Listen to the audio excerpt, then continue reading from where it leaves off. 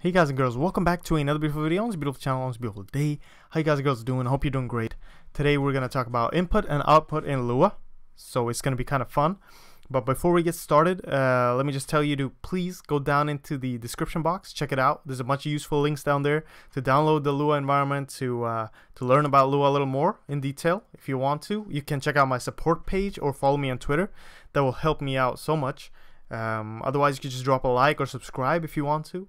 If you don't want to do that, even just keep watching. I'm sure you you'll be happy with just that. So, uh, if we just get started, input and output. It's very simple in Lua to do input and output. And I all I did was I created a folder called Lua on my desktop, and I went into there, and I created a Lua file in there called luaio.lua. You can name it whatever you want. Just make sure you have the .lua after, and it's not .txt.lua or anything like that. So make sure you know you can see your extensions on your files, and you can remove all the unwanted extensions.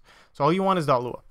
Uh, anyway, if we get started, let me just tell you. So let's get started with printing out to the screen. Now the way this works is through a function and a stream. So a function, we haven't talked about that yet, but basically you can think about it as something that someone else wrote for you, some a bunch of code that does something, but all you have to do is write a little word or something like that to call this function and execute all that code. Okay, so it does a bunch of shit for you. And there's a bunch of these libraries that you can use in Lua, like the math library or something, where people have created functionality that you can that makes it easy for you. So you don't have to write all that functionality yourself. So one of these libraries is the IO library. And this stands for the input output library, right? So you can do IO dot and then you have a bunch of functionality. You have read, you have write, you have a bunch of stuff that you can do for files and for the screen. So we want to output to the screen, right? To the terminal. So for that, there is a function called write, io.write, and a function called print. So we're going to start off with just print, a simple print. I'm going to print out something to the screen, okay? And the way you do that is you write print, a parentheses, to start off the whole function, and something that you put in the function is called a parameter. This is the parameter, the data you want to actually print to the screen. So you can write whatever the hell you want here. I'm just going to write hello world. You can write, uh, you can create spaces in between, you can do anything. As long as you start and end it with the two quotation marks. And you end the whole function with the uh, parentheses here to end. So if I just save this and I run, uh, I say Lua. Actually, I'm just going to start Lua and I'm going to do do file lua.io.lua and I run that and it says hello world and I'm going to add a little uh, exclamation point here. Now I want you to note that once Lua World was done, it went down a new line and it started the next line down here. But if I exchange this, I'm just to copy this. If I exchange this with io.write like that, and I run this, you'll see that it starts here. They didn't create a new line for me. So io.write is a little different in that sense that if you want an automatic new line, you can use print. If you use io.write, you're going to have to create your own new lines. And the way you do that is there are two ways. What I like to do is I like to comma separate everything. So in this function, you can make a bunch of comma separated stuff to format your output the way you want. So you can write a little string here, and then you can write something else here, something, whatever. You can write a number, you can write whatever the hell you want, as long as you separate it with a comma. Obviously, I can continue writing it in this string here, but it makes it a little cleaner if you kind of comma separate everything. That is different from one another, okay? So in new line, I find that it's kind of different. So you just write backslash like that, new line, and end. Start with the double quotation, end with the quotation mark like that. Um, in a stream, the Lua interpreter can notice these backslashes and it will the character directly after that tells it what to do so a backslash any character after that actually has a function. So this tells the interpreter in the stream to print a new line, to create a new line and start off after that. Anything after that will be on a new line. And I can make multiple these. I can make another new line right after here and it will print two new lines and so on and so on. As long as I have the backslash and the n. Okay. Um, another thing is you can write tabs as well. T is for tab. There's a bunch of these things that you can use, shorthand notations, I think they're called, something like that. Uh, you can check it out on Lua's page or in C++, there's pretty much the same uh, backslash and a character. I can write this inside here as well, new line. It doesn't have to be a space in between. I can just do that and it will notice this. And if I, whoops, what the hell did I just do? Did I just close everything? Okay, whatever. Uh, let's start it again. Uh, Lua IO, there we go. Okay, fine. All right, we're fine. Let me just run this and see how it made the new line after, right? And if I write something else after this, it will come on a new line right after. See? Uh, so that's one way that you can do it. I'll have it like that. One another thing you can do is you can kind of make it clean for yourself, make it easier to read. After every comma, I kind of make a new line on my own. This won't this won't matter anything if you have a space here or not. Uh, it's just for you your reading sake. It will still have the same effect. If I run this, it will come there will be a new line after that. So I'll make a new line and I'll print something something else out here. Line two, like that, and I'll run this. So hello world line two, and then I can make another comma here and a new line, like this. Run that. Hello world line two. Boom boom boom. Easy peasy. Um, so yeah, that's one way you can string a bunch of stuff together.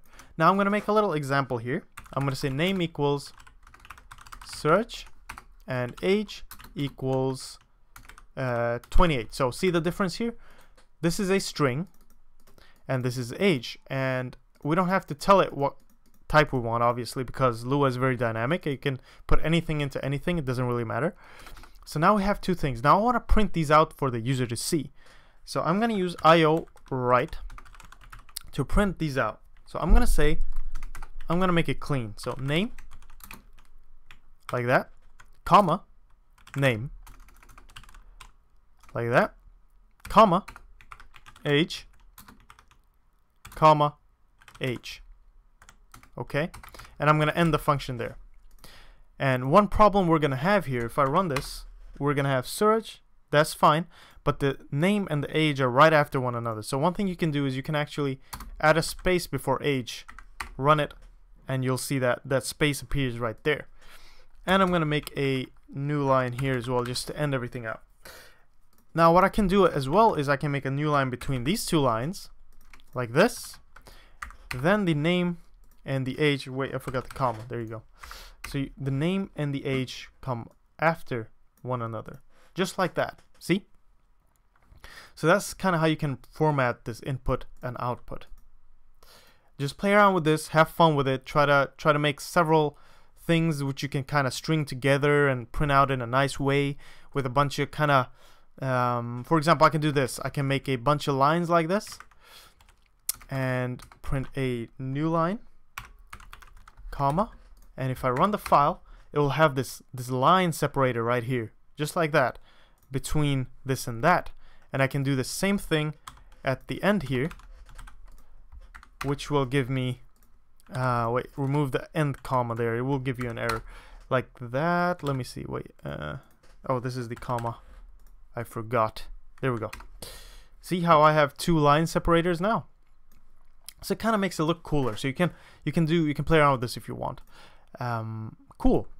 So there you go. Now for those of you who didn't follow through properly on the last video, please check it out if you can because I talk about variables there. And I'm initializing the variables. I'm giving them a start value as I'm creating them here. Uh, but you don't have, you can give them something rubbish just to initialize them like that because I want to get these from the keyboard now. I want the user, I want you to input values into these from the keyboard. So make it kind of dynamic and it will print out anything I input. So I'm going to do io.read now this on its own is going to ask for something from the keyboard, but it's not going to put it into anything and it's not going to, I'm not going to know what the hell's going on. So this is kind of just making the program wait. So if I run this, it's just going to kind of, oh wait, I need to save it as well. Uh, there you go. So it's just making the program wait. So I can write anything here and it's going to run. See? Name is nothing, age is zero. Just like that. But I want to make this read and put it into a variable. So I'm going to say name equals io_read. So anything I put in from my keyboard is going to go into this variable name. And then it's going to eventually be printed out here. Okay? But how does the user know? Like if I run this program, no, not that.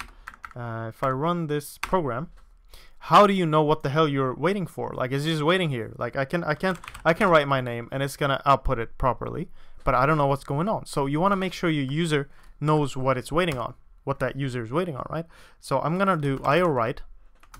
I'm actually gonna do print here. I'm gonna use print because it gives me a new line automatically. So it's a good place to use int.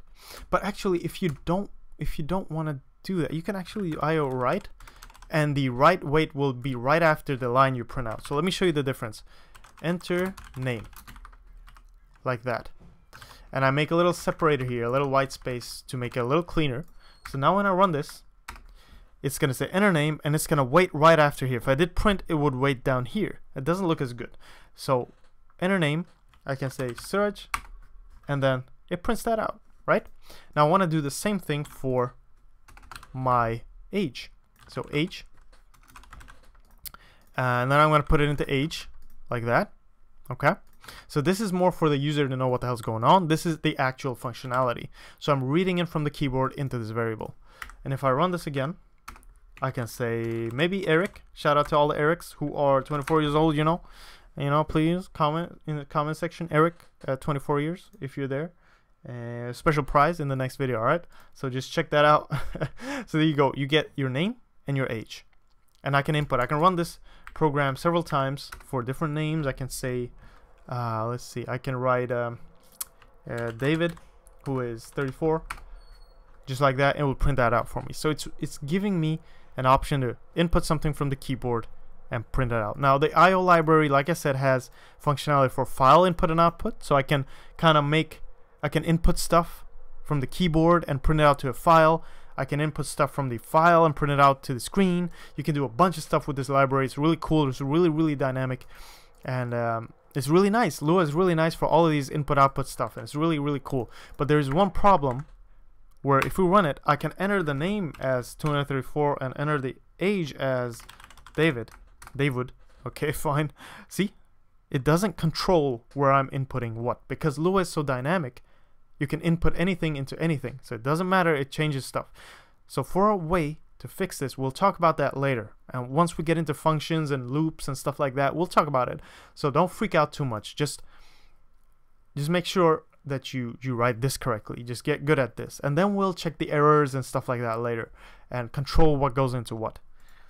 Uh, because to do that, you need to know a bunch of stuff that we aren't ready to really talk about right now. But yeah, for now, just play around with this, have fun um, see if you get any errors and if you solve them and just make sure you read these error messages what it actually says. So if you get a something like that expected boom to close at line 4 go to line 4 check it out um, see what you can do to fix that error. But otherwise just check this code you should be fine. And you can string together a bunch of stuff if you want name age address and just print it out if you want to do that. So for this first video input and output to the terminal um, we're pretty much done. So yeah, thank you for sticking with me. Check out the description box for a bunch of useful links. Like, subscribe if you can. Otherwise, keep learning, work hard, and I'll see you guys and girls in the next video, alright? Take care.